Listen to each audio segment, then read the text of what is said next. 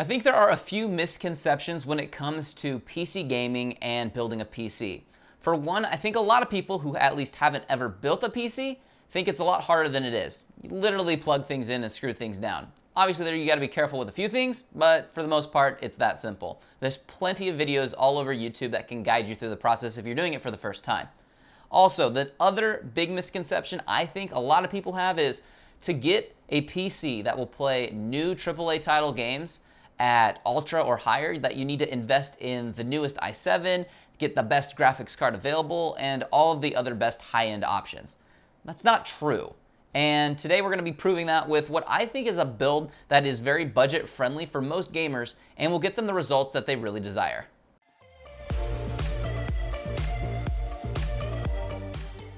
Today's video is brought to you by NZXT. Check out their S340 case. To learn more, check out the description down below. So to kick things off, what we really need to do is talk about what we have in this build, how much all of this will run you if you decide to do maybe a similar build, and what exactly you're gonna get. We'll go over specs in a little bit, but first we need to cover what exactly is in this build. And first things first, we should kick things off with the case itself. It is the NZXT S340 that you heard me talk about just a second ago. It's a very good case. It's not NZXT's cheapest case, but it is a very, what I'd call budget-friendly case. Has plenty of room, plenty of spots for drives and storage, and for expansion too in the future or just anything you need to fit in your case. Also very sleek and well-designed case in my opinion too. Very happy with it. Looks very good. Um, gonna be awesome. My friend's really gonna enjoy that when he gets his build. Um, so that's the case. What we've put inside the case though is, let's start off with the processor. It is an Intel i5 6500 processor. Now, when it comes to processors, there's really two choices in my opinion. If you're looking at the i5 range, which I think is perfect for gaming, um, the i5 range, there's the 6500, which I really, really like. Um, that one you cannot overclock. Um, which isn't a big deal um, for this build and really isn't a big deal for a lot of people. It has a really good performance for price comparative to the brothers that sit uh, around it next to it. The other one you could get is the 6600K. Um, the 6600 itself is a good processor. It's fine. Um, but if you're going to go ahead and get one of those, get the K, get that uh, the one you can overclock. You might get a little bit more longevity out of it um, if you get a motherboard that is capable of overclocking. You got to make sure you do that. But once again, if you go with the K and you go with a motherboard that's going to be able to overclock it, you're going to be spending a little bit more money and you're going to be kind of getting out of the range of which this video is in. So um, you got to be conscious of that. So the 6500 was what we went with. It's a good choice. We also did put that on the MSI B150M Pro VD motherboard. Now, this motherboard is a micro motherboard actually, and there's a few reasons why we did that. One, it's cheaper than a normal ATX motherboard. Um, it's not always the best reason to get something, don't get me wrong. Um, we knew with the processor we were getting that it wasn't overclockable, and this board doesn't support overclocking, so there was no conflicts there. Um, he's never going to run dual uh, video cards or really um, much more than what we have in this PC, um, so we weren't really worried about missing out on any expansion slots. This only does have two available slots for RAM.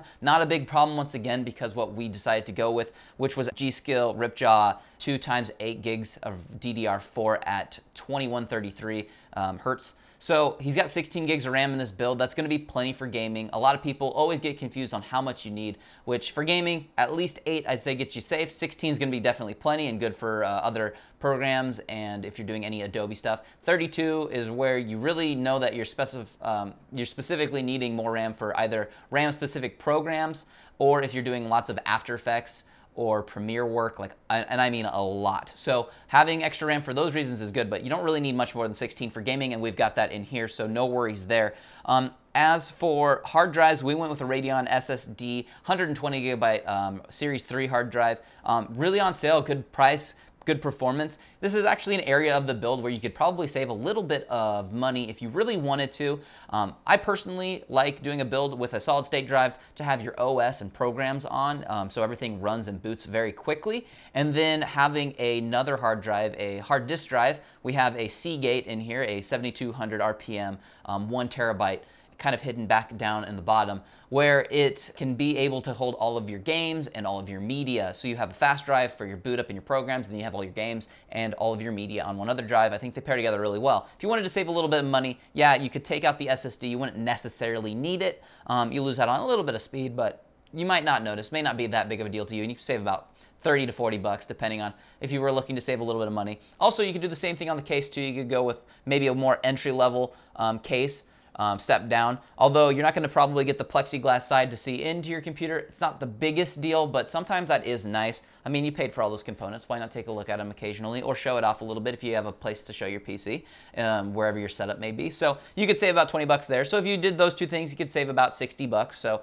saving a little bit. We'll go over one other spot too in a little bit too where you could save money. But um, that's most of the computer. Then we also have the video card, of course. What we decided to go there um, with was actually an RX 470 with 8 gigabytes of GDDR5. Now, the 8 gigabyte version of the 470 is not the one you see most of the time. Most of the time you see a 4 gigabyte version.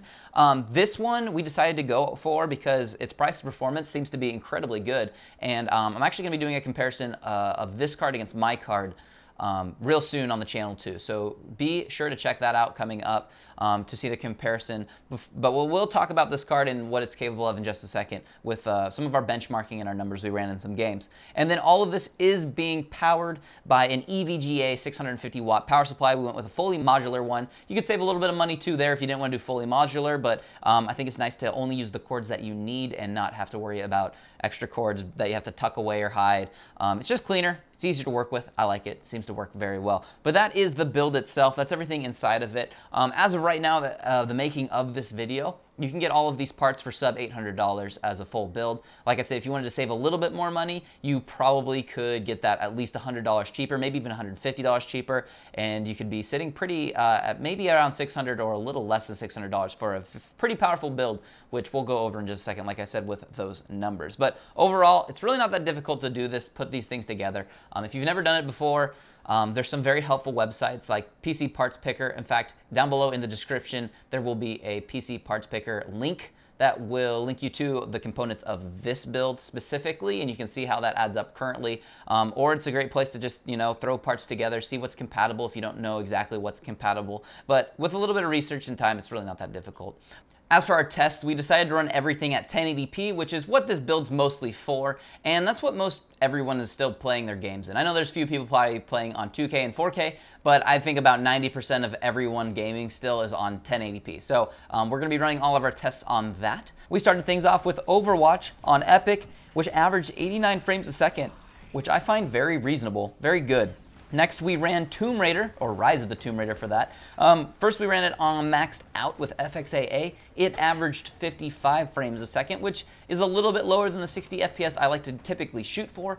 Um, but then we did some tweaks, very high with FXAA. It ran at 62 frames per second. So just bumping it down barely changed it to uh, get what we wanted. And its default setting of high actually ran the game at 75 frames a second. So um, default, it runs fine. And even on max, it ran fine at 55. Next, we ran Dirt Rally, and we ran it on Ultra with two times MSAA, and it averaged 89 FPS, which is definitely right where you want it to be. Um, for kicks, we actually took it down to high and ran it with 8 times MSAA, and it actually averaged 79 frames a second. So lost 10 frames, but we got more anti-aliasing, which uh, smoothed out all the corners and edges and made everything look really pretty. So uh, that was a pretty good option.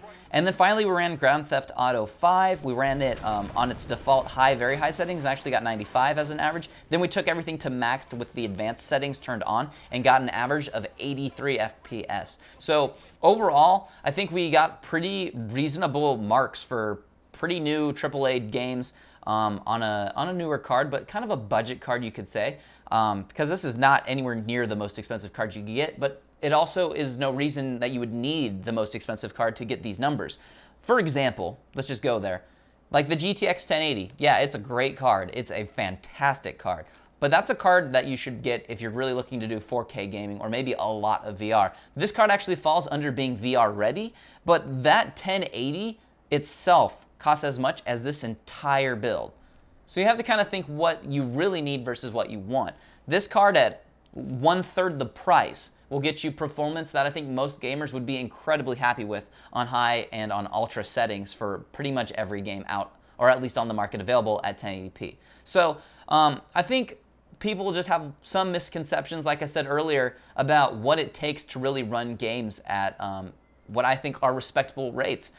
All those numbers for this card and this price, of this build, insanely respectable in my opinion. And in fact, if you start to actually go overkill on your build for what you're doing, um, let's say you do buy a 1080 and you do only play games um, at 1080p, I'm you probably a little bit overkill, honestly, A little bit overkill, unless you're using it for some other things like rendering or who knows what you might be using it for. But overall, um, pretty solid build for the price. Um, everything's down below in the description if you want to know more about it.